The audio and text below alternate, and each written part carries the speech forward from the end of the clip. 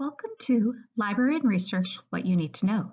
This video will walk you through the essential information you need to know about finding and using scholarly sources to complete your assignment. In this video, you will learn how to develop a thesis, find keywords, use the library's resources, evaluate the sources you find, and how to properly cite sources in your assignment.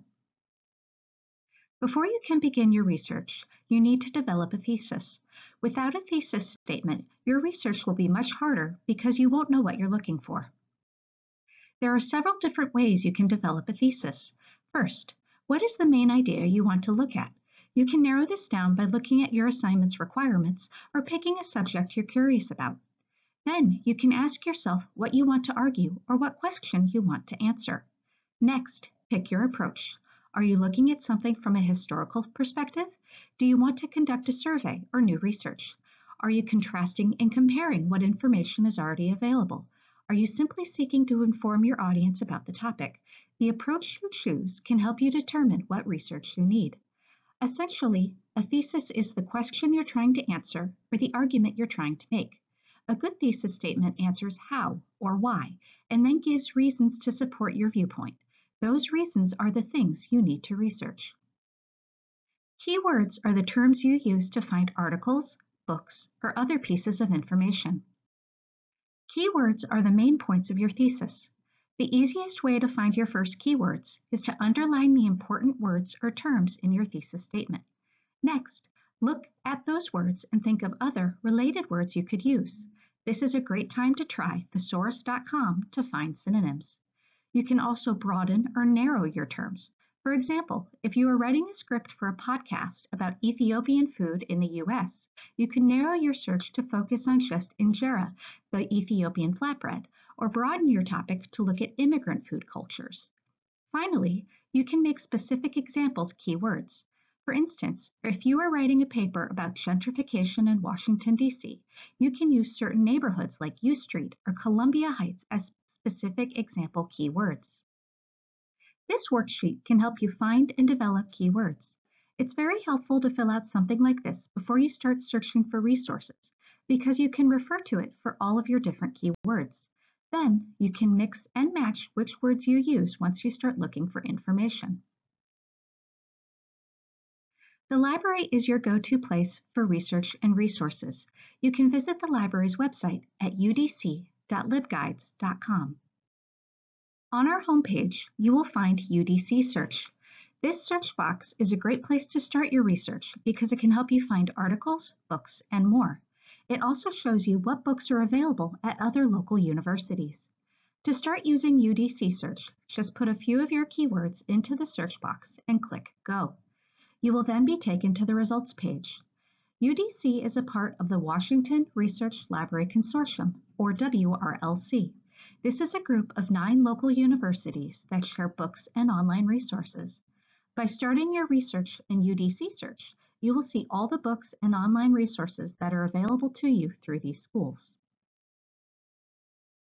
On the results page, you will have the option to apply filters to the results. These work just like they do in Amazon, but instead of focusing on price, customer rating, or prime delivery, you can narrow by availability, subject, or date range. You can also limit to scholarly or peer-reviewed resources, which are required in many assignments. Once you have an item you like, you can click on the title to learn more. This page not only gives you more information about the item, but also links to it if it's available online. The record also links to related information, which can be a great way to find more resources. You can also email the record to yourself here. Even better, there is a built-in citation button that can show you all the ways the item could be cited in your bibliography or Works Cited page. UDC Search is not the only way to find information.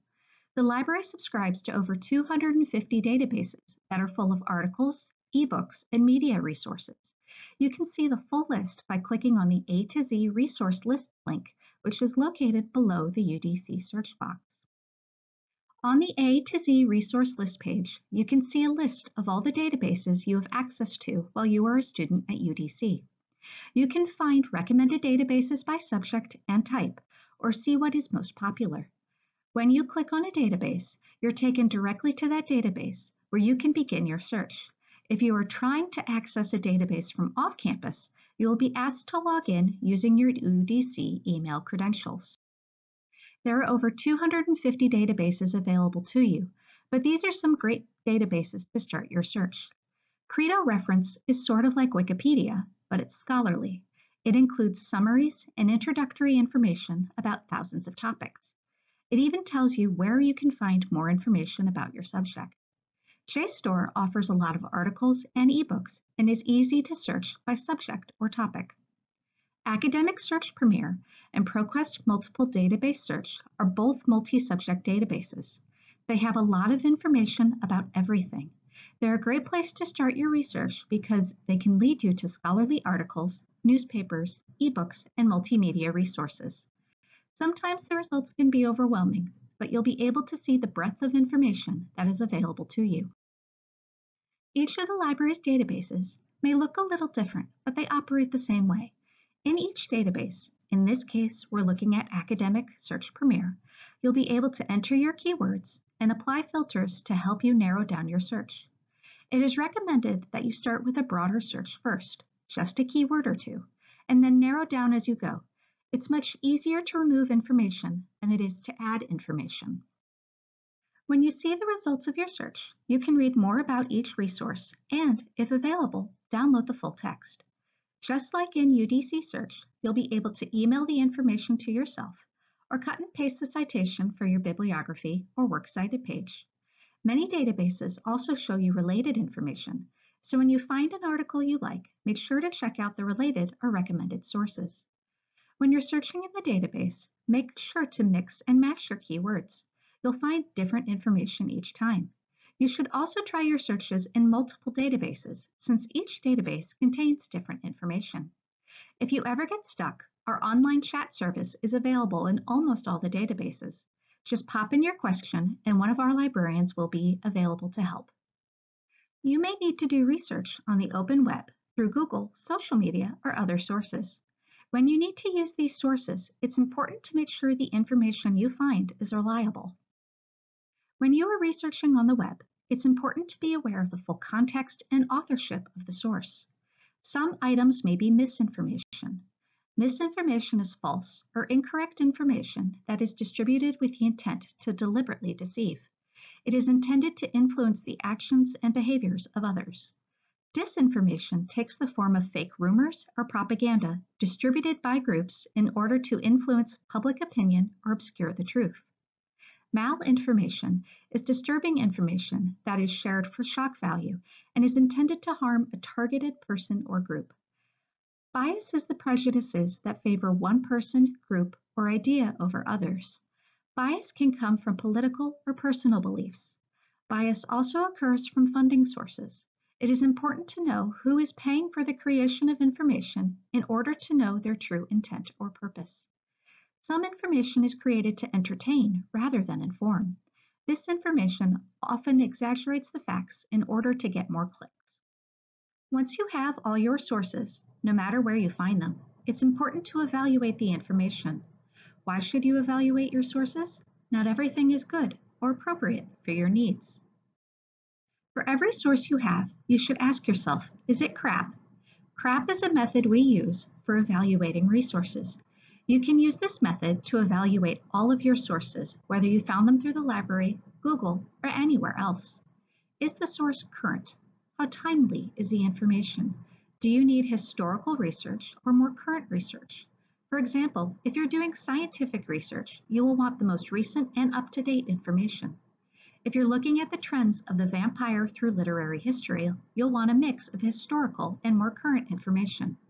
Is it relevant? Just because it was in your search results doesn't mean it's relevant to your assignment. It's also important to look at the intended audience. You don't want to use an article written for elementary school students in your college paper. Is it accurate? Is the information in the source reliable, truthful, and correct? Are there spelling or grammar errors? Can you verify the claims in another source? Signs of any errors should make you think twice about using that source. Is it authoritative? Who wrote the piece? Do they have expertise or experience in the area? Are they biased or trying to get you to buy something? What are the privileges of the author? Who wrote the information is just as important as what they're saying. The reason you shouldn't use Wikipedia is because anyone can update it. Also, lived experience can sometimes be just as good as an academic credential. It's always important to consider balancing perspectives to get the whole story. What is the purpose of the information? Are there political, ideological, cultural, religious, institutional, or personal biases? Is the information designed to teach, inform, sell, persuade, or entertain? Is the information fact, opinion, or propaganda? All information is shared for a reason. You need to look at those reasons to help you determine if they fit with your research need. Once you've found your sources and evaluated if you should use them, it's time to make sure that you include them correctly in your assignment. You may find citations annoying, but there's something that you already do. Anytime you tell someone, I read it here, or I heard it from so-and-so, you're showing where you got your information. We cite information for many reasons. First, we want to give credit to the other authors and creators whose work we are using. Your research and work is building from their hard work. Next, it creates credibility and shows that you did the work. When you cite something, you're telling your audience that you have looked at the information that is out there and are adding to the scholarly conversation. It tells your audience that they can trust you. Finally, it helps you avoid plagiarism. Plagiarism is when you intentionally or not pass off someone else's work as your own. This can include directly copying text or simply rewording someone else's work when you include a citation, you're showing where you found your information and are showing that it is not your original work. It is important to provide a citation whenever you use work that you have not created. That includes any time you quote, paraphrase, or summarize information from a source. It also includes any time you use someone else's data, facts, charts, and graphs. You should also provide a citation whenever you include an image or picture that you did not take or create. Essentially, if you didn't make it, think it, or do it, you should include a citation. There are two parts of a citation. First is the in-text citation. This is the parenthetical reference or footnote included within the text of your paper. The second part is the bibliography or works cited page. This includes the complete information about your source. That may include the title, author, journal or website name, date of publication, and URL. Every source requires a different citation, so it's important to look at how you cite a book versus how you cite an article, podcast, or tweet. Luckily, when it comes to creating citations, there are great options to help you. Purdue OWL is a website that can walk you through all the parts of creating and using citations. It even includes a style guide showing you how to build the two parts of different citations for different kinds of sources. UDC Search and most of the library databases also have built-in cite buttons. When you click that option, the tool will show you how to cite that specific source in your bibliography or works cited page. It won't show you how to create the in-text citation, but at least it will show where periods go and what needs to be italicized in your reference list. Developing your library and research skills is an ongoing process. If you'd like even more information about using library resources and conducting research, you can contact us. Visit our YouTube page for more tutorials or check out our online help guides. All these options will give you more information that can help you complete your research. Thanks for watching.